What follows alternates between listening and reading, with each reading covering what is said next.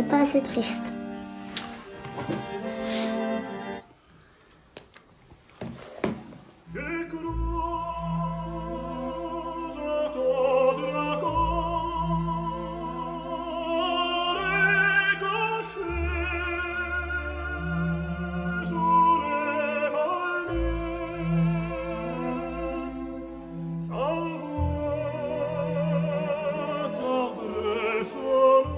J'ai commencé en écrivant du théâtre, en fait en jouant au tout début, mais vraiment très jeune, euh, en prenant des cours de théâtre et puis en me rendant compte que finalement je préférais euh, écrire plutôt que, que de jouer et qu'il y en avait qui le faisaient beaucoup mieux que moi.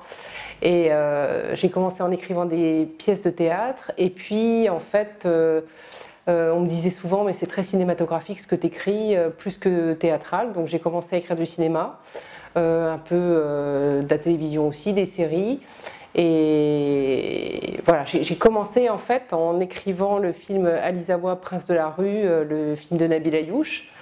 Et puis voilà, j'ai continué en tant que scénariste et puis progressivement j'ai décidé de réaliser aussi.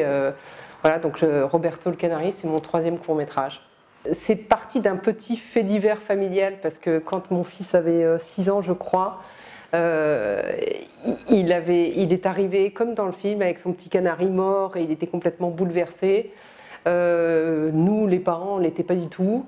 Mais en fait, justement, ce gap qu'il y avait entre lui, son premier rapport à la mort, et puis nous qui étions même presque contents de ne plus avoir à s'occuper de ce canari, et je me suis dit, voilà, tiens, ça pourrait faire une. Euh, puis la thématique de la mort aussi, c'est quelque chose qui m'intéresse beaucoup.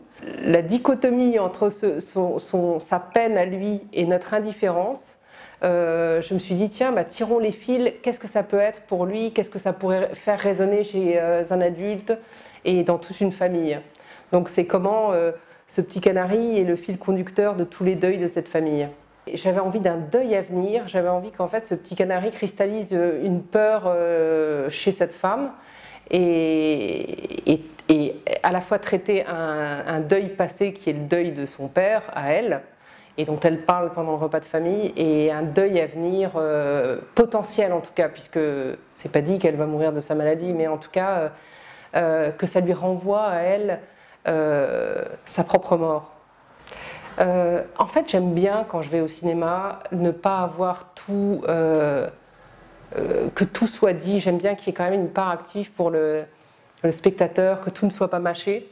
Et j'ai l'impression que c'est quelque chose qui revient de façon récurrente, en tout cas de plus en plus quand j'écris. J'aime vraiment que les choses soient pas dites, soient plus montrées, suggérées, ressenties. Et j'aime bien solliciter cette part active-là chez le spectateur. Alors, je, lui ai raconté l'histoire à son niveau, c'est-à-dire je lui ai dit, voilà, es dans, l'histoire, tu viens de perdre ton canari, tu es très affecté par la mort du canari, mais je ne lui ai pas parlé du tout euh, de, de, l'angoisse de sa mère par rapport à sa maladie, parce que je partais du principe d'abord qu'il n'avait pas forcément à le savoir, et surtout que le personnage ne le savait pas. Donc, puisque le personnage ne le sait pas, lui n'a pas forcément à le savoir non plus. Euh, et c'était marrant d'ailleurs parce que J'étais pas sûre qu'il puisse, je savais pas quel était lui son rapport à la morbidité. Moi, j'en ai, enfin, j'ai pas vraiment de problème avec ça, mais après tout, euh, lui, euh, du haut de ses 6 ans, euh, donc comment est-ce qu'il allait réagir en tenant un petit canari empaillé? Parce que j'allais pas lui mentir et j'allais pas lui dire c'est un faux, j'allais lui dire c'est un canari qui a existé, qui est mort, mais qui est empaillé. Et, et en fait, j'ai demandé au producteur de si je pouvais lui emprunter un renard empaillé qui avait servi à un autre tournage. Euh, et, donc, quand j'ai fait passer le casting au petit, quand je l'ai revu et que je me suis dit, bon, vraiment, c'est potentiellement ça peut être lui, je lui ai dit, tiens, regarde, il y a un renard là, euh, tu, bah, tu veux pas le toucher, tu veux pas le caresser, en lui expliquant que c'était un renard empaillé. Oh bah tiens, tu veux pas lui faire un petit bisou Et comme j'ai vu que l'enfant était très très détendu par rapport au renard empaillé, je me suis dit, avec le canari, ça passera tout seul. Après, pour. pour euh, euh, pour que lui euh, donne à l'image euh, le bouleversement que j'avais vu en tout cas chez mon fils. c'était un petit peu plus difficile parce qu'il n'avait pas du tout envie de pleurer et, je sentais que de toute façon, si je le forçais à pleurer, ça, faisait fake, enfin que j'y arriverais pas. Et son père m'avait dit, mais tu sais, il a perdu sa grand-mère, tu lui parles de sa grand-mère, tu verras, ça va le faire pleurer. J'ai dit, non, non, non, je ne veux pas jouer avec ça. Donc je me suis dit, on va plus jouer le côté un peu sonné, ben, le canari est mort, mais pas forcément Voilà. Puis si dans la réalité ça se passe comme ça, dans la fiction, pas forcément. L'enterrement du, du, canari est tellement dérisoire, cette petite tombe ridicule avec ses petits euh, bâtons de magnum. Donc forcément, ça les fait rire parce que.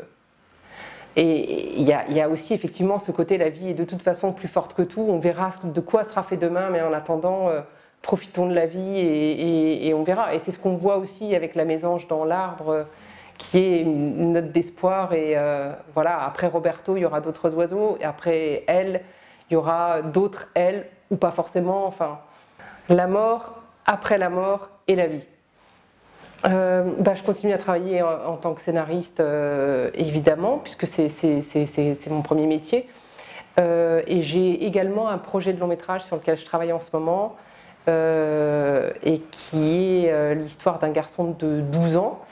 Euh, voilà, donc là c'est un protagoniste un peu plus âgé que le petit de, Roberto, mais ça reste quand même un enfant, donc, voilà, j'ai l'impression que... Et il y a encore le deuil, voilà, inévitablement. Mais le deuil et puis ce contrepoint de la vie comme il y a dans Roberto.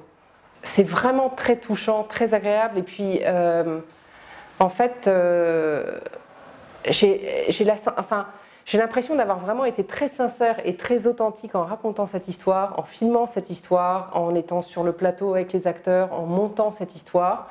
Et j'ai l'impression que cette authenticité-là, cette sincérité-là, elle transpire.